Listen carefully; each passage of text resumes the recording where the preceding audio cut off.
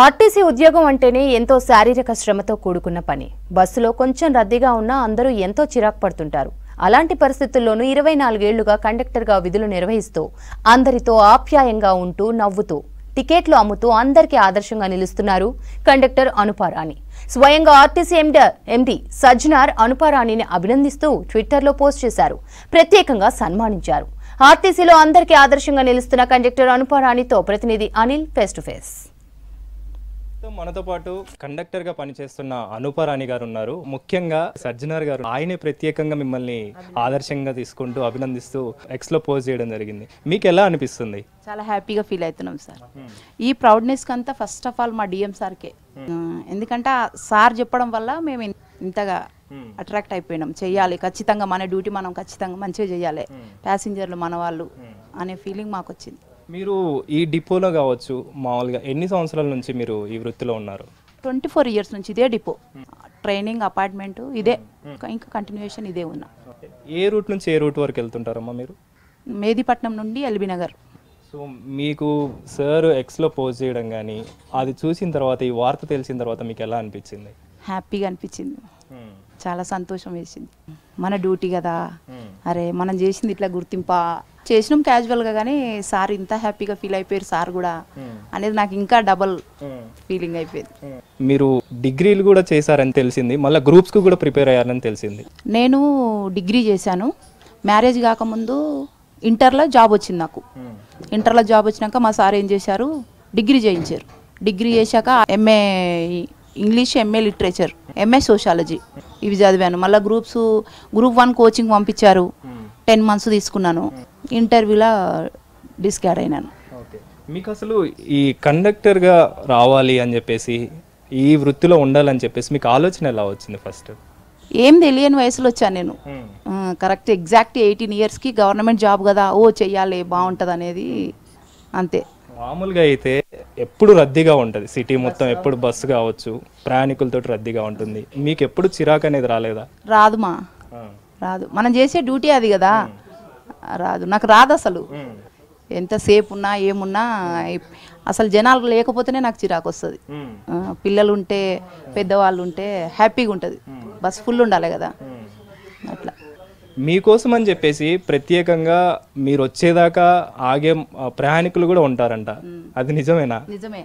Sure hundred percent ఎవ- ఎవరు ఉంటారు ఎవరు ఎక్కువగా మీకోసం వెయిట్ చేయడం కానీ ఏ రూట్లో వెయిట్ చేస్తుంటారు? స్టూడెంట్స్ ఉంటారు కాలేజీ స్టూడెంట్స్ మళ్ళీ వ్యాపారం చేసి చిరు వ్యాపారాలు ఉంటాయి కదా పూల దందాలు ఇంకేంటి కూరగాయల వ్యాపారాలు.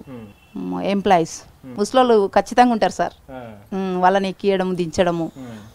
దిగగానే అమ్మ బిడ్డ నీ కడుపు చల్లగుండా అంట. బస్ వాళ్ళు దిగే వరకు ఆపాలి కదా మనం. మీకు ఎలా అనిపిస్తుంటది ఇలా ఎప్పుడు మాట్లాడుతూ వాళ్ళతో సంతోషంగా ఉంటూ టికెట్లు వాళ్ళకి మంచి అరే చేస్తున్నాం మనం సేవ చేయాలి. అట్లా. ఫీల్గా డిపో విషయానికి వస్తే మీతోని డిఎం గారు ఎలా ఉంటారు? అంటే మీరు చేసే. అయితే దురదృష్టకరం ఏంటంటే మా డిఎం గారు ట్రాన్స్ఫర్ అయిపోవడము నాకు ఈ వార్త రావడము అంత బాధగా ఉంది చాలా. గ్రూప్స్కి కూడా ప్రిపేర్ అయ్యారంట. మరి ఆ గ్రూప్స్కి ప్రిపేర్ అయ్యేటప్పుడు ఇక్కడ ఉద్యోగం ప్లస్ గ్రూప్స్ అంటే ఇక్కడ ఉద్యోగం చేయాలి గ్రూప్స్కి ప్రిపేర్ అవ్వాలి. ఏ విధంగా మీరు దాన్ని యూటిలైజ్ చేసుకోవడం జరిగింది?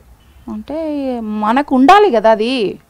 ఫస్ట్ మనకు ఆ కరేజ్ ఉండాలి. నేను చెయ్యాలి ఖచ్చితంగా నేను గ్రూప్స్ కొట్టాలనేది నాకు ఒక అనిపించింది. ఒక ఒక స్పిరిట్ ఉండేది.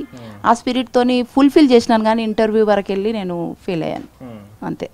నెక్స్ట్ టైం మళ్ళా ఇదే మొత్తానికైతే మీరు ఏదైతే చేస్తున్నారో ఇది అందరికీ ఆదర్శంగా నిలుస్తుందని చెప్పేసి సజ్జనార్ కూడా చేయడం జరిగింది. సో మీరు సార్ పిలిచి దగ్గరికి చాంబర్ పిలుచుకొని సన్మానం కూడా చేశారు. ప్రస్తుతం నేను ఈ డిపోకి సంబంధించిన మేనేజర్ గారు ఎవరైతే ఉన్నారో శ్రీనాథ్ గారితో ఉన్నాను. అనుపరాణి గారికి సంబంధించి తోటి ఉద్యోగులతో ఎలా ఉంటారో తెలుసుకునే ప్రయత్నం చేద్దాం. సార్ చెప్పండి అనుపరాణి గారు. ప్రత్యేకంగా సజ్జనార్ గారే ఆయన ఎక్స్లో పోజ్ చేసి వీరు అందరికీ ఆదర్శంగా నిలవాలని చెప్పేసి మాట్లాడారు. సో మీకు ఎలా అనిపిస్తుంది ఆవిడకి ఇలా జరగడం?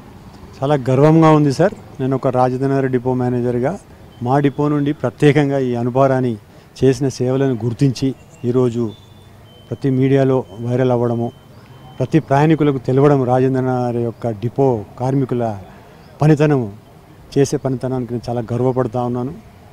మరి ఈ సంస్థ ఎండి గారు వారు వచ్చిన తర్వాత మన ఉద్యోగులకు చాలా బెనిఫిట్స్ తేవడము సారు ఈ యొక్క చాలా ఛాలెంజెస్ గ్రాండ్ ఫెస్టివల్ ఛాలెంజ్ అని చెప్పి ఫెస్టివల్ ఛాలెంజెస్ ఈ లక్ష్య లక్ష్యం అని కూడా ఇప్పుడు ప్రస్తుతం ప్రోగ్రాం జరుగుతూ ఉంది. అందులో భాగంగా కూడా ఇక్కడ ఉన్న కార్మికులు ప్రతి ఒక్కరూ మేము నిర్దేశించిన టార్గెట్ని తీసుకురావడం జరుగుతూ ఉంది. ఈ డిపోలో యాభై ఏడు మంది లేడీ కండక్టర్స్ ఉన్నారు. వారందరూ ప్రత్యేకంగా బాగా పనిచేస్తారు ఇక్కడ. ఈ సిటీలో మాది టాప్ ఈపికేలో ఉంటుంది లాభాల్లో ఉంది. మరి దీన్ని ధీటుగా ఇతర డిపో కార్మికులు ఎంప్లాయీస్ కూడా మమ్మల్ని ఆదర్శంగా తీసుకొని చాలా చక్కగా పనిచేస్తూ ఉన్నారు. ఈరోజు ఇంకా గర్వకారణం ఏంటంటే ఈ అనుపరాణం చేసిన ఈ మా పొగడ్తలకు ఇంకా వీరు ఈ సేమ్ ఇదే విధంగా మా మా డిపో నుండి చేసే ఈ యొక్క కండక్టర్ చేసిన సేవలు ప్యాసింజర్స్ని అంటే ఆమె డ్యూటీ విధి నిర్వహణలో అలసట లేకుండా ప్రతి ప్యాసింజర్ ఎక్కే ప్యాసింజర్ని దిగే ప్యాసింజర్తో మాట్లాడుతూ వారి కుటుంబ విషయాలు కూడా మాట్లాడుతూ అంటే అసలు డ్యూటీ నిర్వహణలో బాధలు మర్చిపోయి చీకాకు మర్చి చీకాకు లేకుండా సంతోషంతో నవ్వుతూ ప్యాసింజర్స్తో ఉండడం మెలగడం అనేది చాలా సంతోషకరమైన విషయం. నిన్ననే మన ఎండి గారు మరి అన్పారాణిని తీసుకొని బస్భవన్కి రమ్మని చెప్పడం జరిగింది. మరి ఈరోజు వెళ్తే సారు ప్రత్యేకంగా వారు వారి చాంబర్లోకి పిలిచి ఘనంగా సత్కరించడం అందరి ఈడీ ఆఫీసర్స్ సమక్షంలో ఘనంగా సత్కరించి ఆమె చేసిన సేవలను కొనియాడడం జరిగింది. మరియు అన్పరాణి యొక్క కుటుంబ విషయాలు కూడా స్వత స్వత అన్నీ తెలుసుకొని బాగా సారు వారిని చక్కగా చూసుకున్నారు సార్.